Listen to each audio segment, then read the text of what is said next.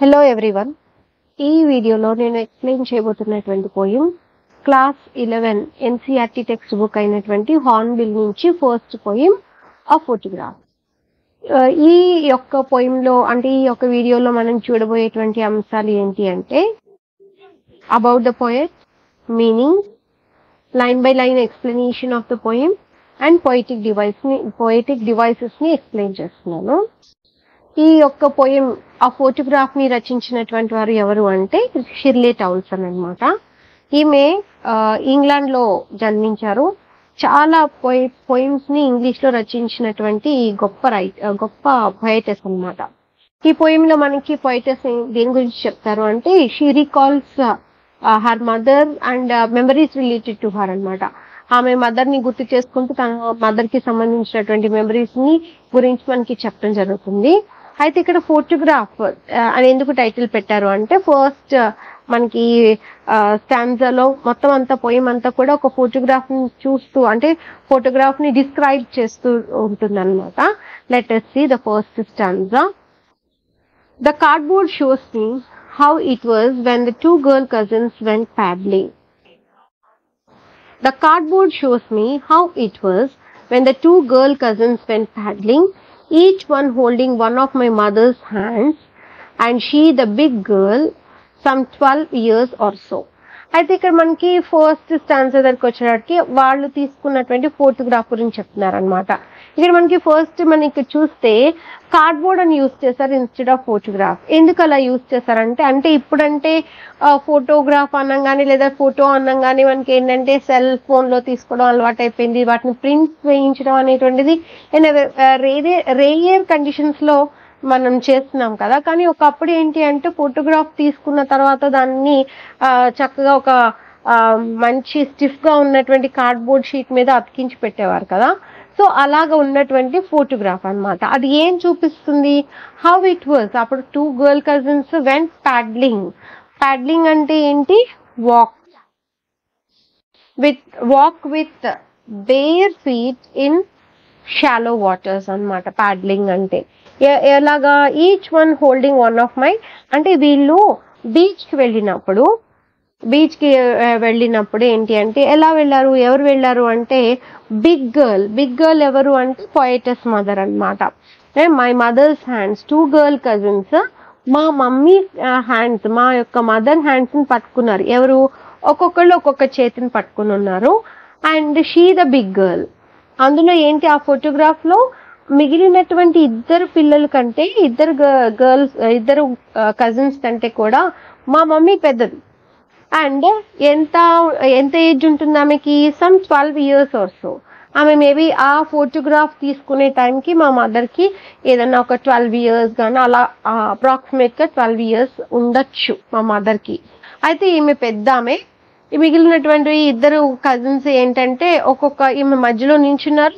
వాళ్ళిద్దరూ చెరుకో చేయి పట్టుకుని నించున్నారు అనమాట అది ఫోటోగ్రాఫ్. ముగ్గురు పిల్లలు ఉన్నటువంటి ఒక ఫోటోగ్రాఫ్ గురించి చెప్తున్నారు. దాంట్లో మధ్యలో నించున్నటువంటి ఆమె ఎవరు అంటే ఈ పోయటెస్ మదర్ ఉన్నారన్నమాట ఆవిడే పెద్దది. All three stood still to smile through their hand at the uncle with the camera అయితే వీళ్ళు వీళ్ళ అంకుల్ కూడా అంటే మేబీ ఇంకా బ్యాక్గ్రౌండ్ మనకి తెలియదు ఇక్కడ ఇచ్చినటువంటి దాని ప్రకారం ఏంటి అంటే వాళ్ళ అంకుల్ ఫోటోగ్రాఫ్ తీస్తున్నారట. వీళ్ళు ఎలా ఉంచు ఎలా నించినారు? త్రీ త్రీ అంటే ఎవరు? ఈ త్రీ మెంబర్స్ ఎవరు? పోయటెస్ మదర్ అండ్ ఆమె కజిన్స్ ఇద్దరు అన్నమాట. వాళ్ళు స్టూడ్ స్టిల్ అంటే ఇప్పుడంటే రకరకాల పోజెస్లో ఫోటోలు తీసుకుంటున్నారు కానీ ఒకప్పుడు ఫోటోగ్రాఫ్ అంటే ఏంటి అంటే ఒక ఫిక్స్డ్ పోర్ట్రైట్ స్మైల్ తోటి అలా నిలబడి క- కదలకుండా నిలబడి తీసుకునేవారు అనమాట స్ట్రైట్ అట్లా సో వాళ్ళు ఫ్రీజ్ అయిపోయారు. అలా నవ్వుతూ అలా ఒక పోజ్ పెట్టుకుని అదే పోజ్లో ఫ్రీజ్ అయిపోయారు. అండ్ నవ్వుతున్నారు. ఎలా నవ్వుతున్నారు? త్రూ దేర్ హెయిర్ ఎందుకు త్రూ దేర్ హెయిర్ అని ఇచ్చారు అని అంటే ఇక్కడ మనకి పిక్చర్లో చూపించినటువంటి విధంగా మనం బీచ్కి వెళ్ళినప్పుడు ఏం జరుగుతుంది? ఆ గాలి వస్తూ ఉంటే మన హెయిర్ వచ్చి మన మొహం మీదకి ఇట్లా పడిపోతూ ఉంటుంది కదా. ఆ యొక్క హెయిర్ నుంచి ఆ స్ట్రాండ్స్ ఆఫ్ హెయిర్ మధ్యలో నుంచి నవ్వుతూ స్టుడ్ స్టిల్ అలాగే కదలకుండా నించున్నారట. When uncle was taking the pic అన్నమాట. ఆ sweet face my mother's that was before I was I was born అయితే ఇక్కడ వాళ్ళ మదర్ యొక్క ఆ photograph లో వాళ్ళ మదర్ ఎలా ఉన్నారు అనేటువంటిది డిస్క్రైబ్ చేస్తున్నారు. ఎలా ఉన్నారంట? మా మదర్కి ఎంత స్వీట్ ఫేస్ ఉందో. ఎప్పుడు అది బిఫోర్ ఐ వాజ్ బార్న్ నేను పుట్టక ముందు. ఆమెకి ఏ ట్వెల్వ్ ఇయర్స్ ఏజ్ ఉంటుందని ఆల్రెడీ మనకి చెప్పారు కదా. అయితే ఇక్కడ ఏంటి అంటే ట్వెల్వ్ ఇయర్స్ అంటే బాధ్యతలు లైక్ చిన్న పిల్లలు కదా వాళ్ళు ఇంకా వాళ్ళు ఇంకా లైఫ్ అంటే పూర్తిగా ఏంటో తెలీదు రెస్పాన్సిబిలిటీస్ ఏమీ ఉండవు జాలీ లైఫ్ ఉంటుంది. అప్పుడు ఏంటి మొహంలో ఒక ప్రశాంతత ఒక ఆనందం ఉంటుంది. సో మా మమ్మీ అంత స్వీట్ ఫేస్ తోటి స్వీట్ ఫేస్ తోటి ఉంది ఆ ఫోటోగ్రాఫ్లో అని అంటున్నారు అనమాట sea which appears to have change less washed their terribly transient terribly. ఈ లైన్ చాలా చాలా ఇంపార్టెంట్ అన్నమాట. దీంట్లో ఉన్నటువంటి వన్ ఆఫ్ ద థీమ్స్ని తెలియజేస్తూ ఉంటుంది. అయితే ఇక్కడ ఏంటంటే బ్యాక్గ్రౌండ్ టు దట్ ఫోటోగ్రాఫ్ అంటే ఇక్కడ పిక్చర్లో చూపిస్తున్నటువంటి గర్ల్సే వీళ్ళ కజిన్స్ అని ఈమె పోయిటస్ మదర్ అని నేను చెప్పట్లేదు కానీ ఇలా తీయించుకున్నటువంటి ఫోటోగ్రాఫ్లో ఈమె బ్యాక్గ్రౌండ్లో ఏమున్నది? సీ ఉంది. ఓకే? బ్యాక్గ్రౌండ్ సముద్రం ఉంది. వెనకాల సముద్రం ఉంది. ఎదురు వాళ్ళు నిలబడి తీయించుకున్నటువంటి ఫోటోగ్రాఫ్ అన్నమాట. అయితే ఈ యొక్క ఫోటోగ్రాఫ్ని మనం అబ్జర్వ్ చేసినట్లయితే ఆ సీ ఎలా ఉంది? Which appears to have less change అయితే దాంట్లో చేంజెస్ ఏమీ రాలేదు. అండ్ ఏదైతే sea వాటర్స్లో they wash they terribly transient feet చాలా ఇంపార్టెంట్ లైన్ ఇక్కడ ఇది మనకి. అంటే ఏంటంటే జనరల్గా మనం బీచ్కి వెళ్ళినప్పుడు you all might have an experience of going to beach కదా? అక్కడ ఏమవుతుంది? మనం ఎంత వాష్ చేసుకున్నా మళ్ళీ పైకి వచ్చేటప్పటికి పైన అంతా మనకి ఇసుక అనేది అంటుకుపోతూ ఉంటుంది కదా? ఇక్కడ ఏంటంటే మనం సూపర్ఫిషియల్ మీనింగ్ uh, అనేది ఫస్ట్ చూద్దాము. తర్వాత ఆ డీప్గా ఏం చెప్పారు పోయేటెస్ అనేది మనం తర్వాత చూద్దాము. అయితే ఇక్కడ ఏంటి అంటే ఇసుక అంటుకుపోయినటువంటి కాళ్ళు వెళ్ళి కడుక్కుంటారు కదా. ఇట్స్ క్వైట్ కామన్ కదా. ఆ వచ్చేటువంటి కెరటాల్లో మళ్ళీ ఆ వాటర్ దగ్గరికి వెళ్ళి మళ్ళీ క- కడుక్కుంటారు కదా. అలాగా ఏదైతే సీ వాటర్ వాళ్ళ యొక్క వాళ్ళ యొక్క టెరిబ్లీ ఇసుకతో నిండి ఉన్నటువంటి కాళ్ళని కడిగిందో ఆ సీ వాటర్ మాత్రం ఆ సీ మాత్రం ఎలా ఉంది? చేంజ్. అసలు చేంజ్ చేయలేదు. అంటే ఏంటి అంటే ఇక్కడ అప్పుడుకి పొయేటస్ మదర్కి అప్పటికి ట్వెల్వ్ ఇయర్స్ ఆమె పెద్దదైపోయింది. ఆ తర్వాత పెళ్ళైపోయింది. పెళ్ళైన తర్వాత పొయేటస్ పుట్టారు. పొయేటస్ పుట్టి పొయిటరీ రాసేటువంటి స్టేజ్కి వచ్చారంటే వీ కెన్ అండర్స్టాండ్ మేబీ ఆమె యొక్క ఏజ్ ఏ ఫార్టీ ప్లస్ ఎంత అయిపోయి ఉంటుంది. తర్వాత ఏం జరిగింది అంటే మనం హ్యూమన్ బీయింగ్స్ ఏదో ఒక రోజు చనిపోతాం మనం రైట్ చనిపోయి కూడా ఉండొచ్చు. అంటే తర్వాత ఏం జరిగిందో మనం తర్వాత స్టాంజర్లో చూసుకుందాం. అని మనుషుల్లో లైఫ్ వచ్చేటప్పటికి ఏంటి అంటే మన ఫీట్ మనలో ఇన్ని చేంజెస్ వస్తాయి. మనలో ఫిజికల్గా కానీ మెంటల్గా కానీ మనిషిలో ఇన్ని చేంజెస్ వస్తాయి తర్వాత మనం చనిపోతాం. కానీ ఏదైతే బ్యాక్గ్రౌండ్ సీ ఉందో అది మాత్రం అలాగే ఉంది. అది మాత్రం ఏమి నేను ఇప్పుడు ఒకవేళ విజిట్ చేసినా సరే ఆ సీ వాటర్స్లో అలాగే ఉంటుందేమో. కదా అంతే కదా. దాంట్లో చేంజ్ ఏముంటుంది? నేచర్ నెవర్ చేంజెస్ అదే ఇక్కడ చెప్తున్నారు అనమాట ఇది ఇది మనకి ఏంటంటే ఏ నీళ్ళు అయితే ఏ సముద్రం అయితే వాళ్ళ కాళ్ళ వాళ్ళ కాళ్ళని కడిగిందో ఆ ఫీట్ని ఆ సముద్రం మారలేదు. Varies when it is coming to poet's mother ఏంటి? ఆమె ట్వెల్వ్ ఇయర్స్ ఏజ్ ఉన్నప్పుడు ఆ ఫోటోగ్రాఫ్ తీసుకున్నారు. తర్వాత ఎదిగిపోయారు పెళ్ళైపోయింది పిల్లలు పుట్టారు తర్వాత చనిపోయి కూడా ఉంటారు ఆవిడ.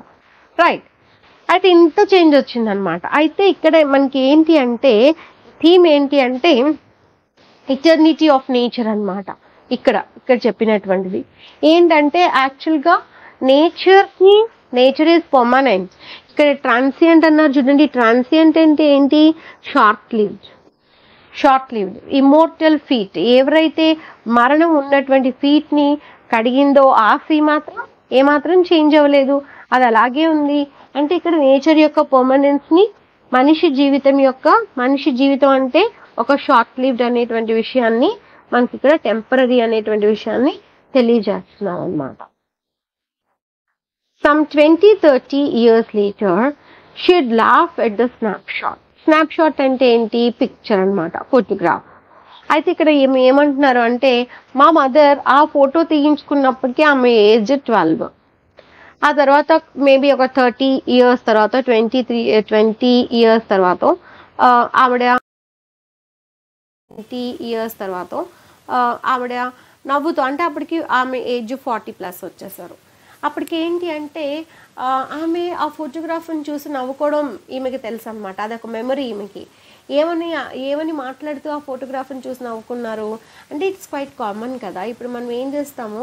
ఈరోజు మనం తీయించుకున్నటువంటి ఫోటోలో మనం వేసుకున్న డ్రెస్ కానీ మన మన యొక్క హెయిర్ స్టైల్ ఏదైనా సరే the way that we stand and all ఇప్పటికి అది ట్రెండీగా కనిపించి బాగున్నట్టు ఉంటుంది ఆ తర్వాత మీ అదే ఫోటోగ్రాఫ్ని మీరు ఒక ట్వంటీ ఇయర్స్ తర్వాత టెన్ ఇయర్స్ తర్వాత చూడండి. ఎంత నవ్వుకుంటామో మనం ఏంటి ఇది నేను ఇలా డ్రెస్ అప్ అయ్యాను ఇలా హెయిర్ కుమ్ చేసుకున్నాను ఏంటి అని నవ్వుకుంటాం. ఇట్స్ క్వైట్ కామన్ కదా. అదే ఇక్కడ కూడా జరిగిందనమాట. ఒక ట్వంటీ థర్టీ ఇయర్స్ తర్వాత ఆ స్నాప్ షాట్ని చూసుకుంటూ మా మదర్ నవ్వుకునేది. ఏమని చెప్పేవారు? ఎందుకు నవ్వుకునేవారు? ఏమని చెప్పేవారు అంటే see Betty and Dolly Betty and Dolly అంటే ఎవరు? ఒక్కొక్కసారి మనకి ఎక్స్ట్రాక్ట్స్లో క్వశ్చన్స్ అడుగుతారనమాట బెట్టి అండ్ డాలీ అంటే ఎవరు అంటే ఫస్ట్ స్టాన్జాలో ఫోటోగ్రాఫ్లో ఉన్నటువంటి ఆమె చెప్పారు కదా మా మదర్ బిగ్ గర్ల్ మా మె- మా మదర్ దగ్గరికి వచ్చేటప్పటికి ఆమె పెద్దది.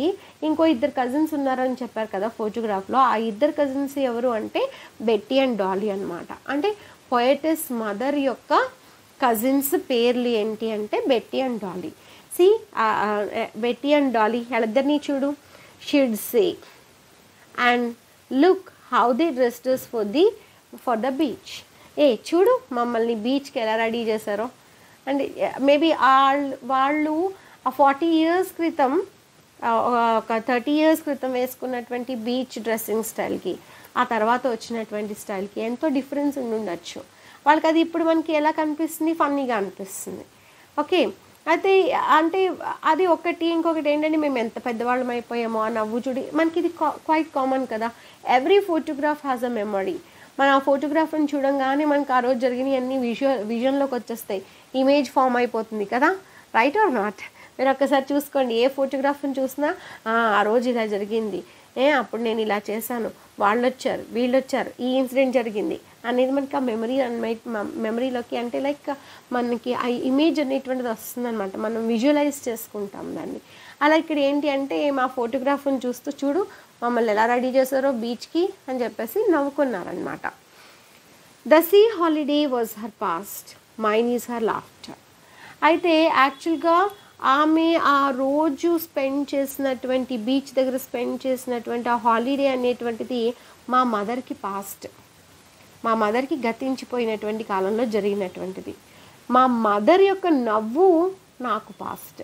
అంటే వీ కెన్ అండర్స్టాండ్ హియర్ నేను మీకు ఇక్కడ చెప్పాను కదా ట్రాన్సియంట్ ఫీట్ అన్న చోట.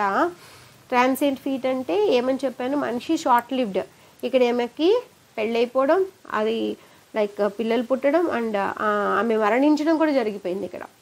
సో ఇక్కడ అదే ఇక్కడ చెప్పారు. ఆ సీ ఏదైతే ఉన్నదో ఆ వాళ్ళ యొక్క ఫీట్ని వాష్ చేసినటువంటి సీ ఏదైతే ఉందో అదైతే చేంజ్ అవ్వలేదు. మదర్ మాత్రం ఎదిగారు చనిపోయారు కూడా. ఆమె యొక్క లాఫ్టర్ నాకు past both wry with the laboured ease of ease of loss both wry wry అంటే ఏంటి ఇక్కడ? డిసప్పాయింట్మెంట్ అన్నమాట. ఇద్దరు కూడా విత్ లేబర్డ్ ఈజ్ చాలా వాళ్ళ యొక్క లాస్కి అంటే యాక్చువల్గా ఏం జరుగుతుందంటే మదర్ డిసప్పాయింట్ అయ్యారు.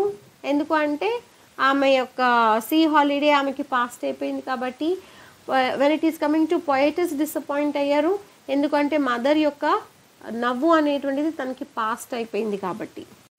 అంటే ఇక్కడ ఇద్దరు కూడా డిసప్పాయింట్మెంట్తోనే ఉన్నారనమాట అంటే ఏదైనా మనకి మనకి లేబర్ చేసి ఎంతో కష్టపడి వచ్చింది తెచ్చుకున్నటువంటిది చాలా తొందరగా ఈజీగా పోయిందనమాట అంటే ఏంటి అంటే వాళ్ళ మదర్ ఎప్పుడు పెద్దవాళ్ళు అయిపోయారో తెలియలేదు. ఎప్పుడు ఇదంతా మా ఆమె పుట్టి పెరగడం ఇదంతా కూడా చాలా స్పీడ్గా గడిచిపోయింది.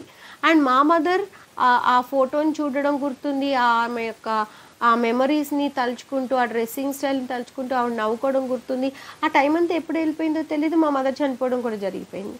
సో ఇలాగే ఏంటి అంటే they they don't know when the time past అనమాట విత్ సమ్ డిఫికల్టీ అండ్ ఏంటి అంటే కష్టపడి వచ్చింది కానీ చాలా ఈజీగా పోయిందనమాట వీళ్ళకి ఏంటి అంటే ఆ డిసప్పాయింట్మెంట్ అనేటువంటిది చాలా కష్టంగా అనిపిస్తుంది ఇద్దరికి కూడా.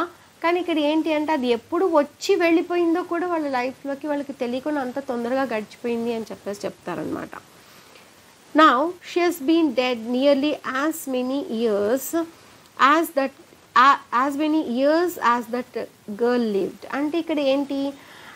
మదర్ గర్ల్ లివ్డ్ అంటే ఏ గర్ల్ లివ్డ్ ఇక్కడ? ఏదైతే ఫోటోగ్రాఫ్లో ఉన్నటువంటి మదర్ యొక్క ఏజ్ ఉంది కదా అన్ని ఇయర్స్ అయిపోయింది. ఎవరు ఏ ఏమై అన్ని ఇయర్స్ అయిపోయింది? She is been dead she stands for here the poet's mother అన్నమాట. పొయటియస్ యొక్క మదర్ చనిపోయి ఎన్ని ఎన్ని ఇయర్స్ అయింది? ఆ యొక్క గర్ల్గా ఉన్నప్పుడు తన ఫోటో తీయించుకున్నప్పుడు ఏజ్ ఎంత ఉంది? ట్వెల్వ్ ఇయర్స్ అయింది కదా. అన్ని ఇయర్స్ అయింది వాళ్ళ మదర్ చనిపోయి ఇక్కడ. And of the circumstance there is nothing to say at all అయితే ఈ పరిస్థితుల్లో ఇలాంటి యొక్క సిచ్యువేషన్ ఇలాంటి సర్కమస్టెన్స్ లాంటి ఈ ఈ ఈ యొక్క చనిపోయినటువంటి బాధలో ఆ సిచ్యువేషన్లో ఏంటి అంటే there is nothing to say death అంటే ఏంటి? ఎవ్రీథింగ్ ఎట్ సైలెన్స్ కదా. నాకు ఏం చెప్పాలో తెలియట్లేదు మాటలు రావట్లేదు. ఇట్స్ సైలెన్స్ సైలెన్సెస్ ఆ యొక్క సైలెన్స్ ప్రతిదాన్ని సైలెన్స్ చేసేసింది. ఆమె యొక్క డెత్ అనేటువంటిది మొత్తం అంతటినీ కూడా సైలెంట్ చేసేసింది. ఐ క్యాన్ స్పీక్ ఎనీథింగ్ ఆ డెత్ అనేటువంటిది మొత్తం అంతటినీ కూడా సైలెన్స్ చేసేసింది. అండ్ ఆ సైలెన్స్ ఏం చేసింది అంటే the silence of that situation silence is the poetess నా letter see the poetic devices in the poem అయితే యాక్చువల్లీ నా యొక్క ఎక్స్ప్లెనేషన్ కనుక మీకు నచ్చింది అనుకున్నట్లయితే please do subscribe and like the channel uh, ఇంకా మీ ఫ్రెండ్స్కి కూడా యూస్ అవుతుంది బాగా ఉంది పోయం ఎక్స్ప్లెనేషన్ అనుకుంటే please do share to your friends too and four for మనం ఫస్ట్ లైన్ దగ్గరకు వచ్చేటప్పటికి ఉన్నటువంటి ఫోర్ పొయిటిక్ డివైసెస్ ఏంటి అంటే here the cardboard shows me how it was actually there is no punctuation mark at the end of the line a punctuation mark లేకుండా ఉండ ఉన్నట్లు. అంటే దాని అర్థం ఏంటి అంటే it is continuing in the next line అనమాట అలా ఉన్నట్లయితే దాన్ని మనం ఏమంటాము? ఎంజాబ్మెంట్ అంటాం. Enjambment is used and two girl cousins the and two ఏవైనా టూ వర్డ్స్ ఒకే కాన్సనెంట్ లెటర్తో స్టార్ట్ అవుతున్నట్లయితే ఒక లైన్లో పక్క పక్కన లేదు అంటే అదే సేమ్ లైన్లో two words more than two words కనుక సేమ్ కాన్సనెంట్ లెటర్తో స్టార్ట్ అయినట్లయితే దాన్ని ఏమంటాము? అలిటరేషన్ అని అంటాం. ఇంకా మనకి అలిటరేషన్ ఎక్కడెక్కడ ఉంది చూడండి. మై మదర్స్ రెండు same consonant letter the twelve stood still smile three through their ఇవన్నీ కూడా రెండు అలిటరేషన్స్ ఇక్కడ రెండు ప్లేసెస్లో my mothers alliteration terribly trans sorry their tele terribly transient ఈ మూడు కూడా ఫస్ట్ లెటర్ వచ్చేటప్పటికి అలిటరేషన్ టీతో స్టార్ట్ అయింది కదా సేమ్ వావల్ ఇక్కడ ట్వంటీ థర్టీ మనకి alliteration she snapshot see alliteration she say alliteration ఇలా మనకి అలిటరేషన్ అనేది చాలా ప్లేసెస్లో ఉంది. అండ్ ఇంకా మనకి నెక్స్ట్ పొయిటిక్ డివైస్ వచ్చేటప్పటికి sea was full word repeat అయితే దీన్ని ఏమంటారు? ఒకే లైన్లో సేమ్ వర్డ్ రిపీట్ అయినట్లయితే కనుక రిపిటేషన్ అంటారు repetition.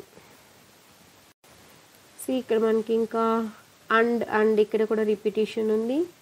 The the repetition her her repetition. And ఇక్కడ చూడండి మళ్ళీ laboured loss laboured loss alliteration.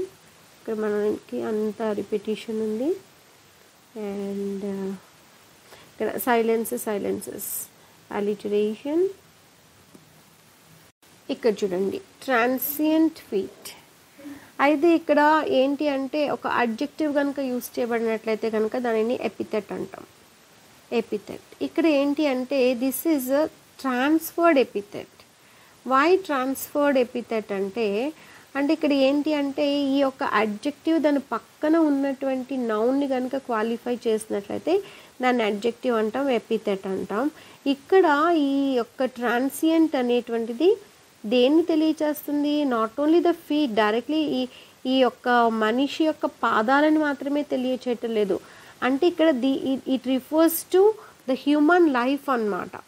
Okay it uh, దీని యొక్క రిఫరెన్స్ ఏంటి అంటే ఆ బెట్టి డాలీ లేదా పొయటస్ మదర్ యొక్క ఫీట్ మాత్రమే కాదు. అది మొత్తం మానవ జాతి అంతా కూడా ట్రాన్సియంట్ అనేటువంటిది తెలియచేస్తుంది. అంటే అది that is transferred right that adjective is transferred to some other thing then that is called transferred epithet అంటే ఇప్పుడు ఒక ఎగ్జాంపుల్తో మీకు ఎక్స్ప్లెయిన్ చేస్తాను. ఏమనంటే the boy is sick and the boy is in the sick room అన్నారనుకోండి. The boy is in the sick room అన్నాం. ఎవరో ఒక బాయ్కి బాగాలేదు సిక్ రూమ్లో ఉన్నారు. అంటే ఇక్కడ మీరు అబ్జర్వ్ చేయండి. రూమ్ రూమ్ వచ్చేటప్పటికి నౌన్. అక్కడ ఉన్నటువంటి అడ్జెక్టివ్ ఏంటి? సిక్. అంటే రూమ్ రూమ్ సిక్గా ఉందా? కాదే. ఆ సెంటెన్స్లో పక్కనే ఉన్నటువంటి నౌన్కి ఇది అట్రిబ్యూట్ చేయట్లేదు. క్వాలిటీని ఈ యొక్క నౌన్ని యొక్క క్వాలిటీని తెలియచేయట్లేదు కదా. రూమ్ సిక్ కాదు కదా. ఇక్కడ boy sick. Some other noun గురించి ఇది క్వాలిఫై చేస్తుంది. అప్పుడు ఇది ఏమవుతుంది అంటే ట్రాన్స్ఫర్డ్ ఎపిథెట్ అవుతుంది అనమాట సో అలాగే ఇక్కడ కూడా వీళ్ళ యొక్క పాదాలను గురించి చెప్పటం లేదు ఇది. మొత్తం మనిషి యొక్క సమ్ అదర్ థింగ్ని రిఫర్ చేస్తూ ఉంది కాబట్టి దీనిని ఏమంటారు అంటే ట్రాన్స్ఫర్డ్ ఎపిథెట్ అని అంటారు. అండ్ మళ్ళీ ఇక్కడ చూడండి. Laboured ease laboured use ease అంటే ఆక్సిమరాన్ అనమాట ఆక్సిమరాన్ అంటే ఇక్కడ మనకి యూస్ చేయబడినటువంటి poetic device or literary device ఏంటి అంటే ఆక్సిమరాన్. ఇలా టూ ఆపోజిట్ థింగ్స్ని కలిపి చెప్పడాన్ని ఏమన్ ఒక పక్క పక్కన యూస్ చేసినట్లయితే ఆక్సిమరాన్ అంటారు. లేబర్డ్ అంటే కష్టపడడం. ఈజ్ అంటే ఈజీగా వచ్చేయడం. అలా టూ ఆపోజిట్ క్వాలిటీస్ దగ్గర పక్క పక్కనే యూజ్ చేశారు కాబట్టి దానిని ఆక్సిమరాన్ అని అంటారు.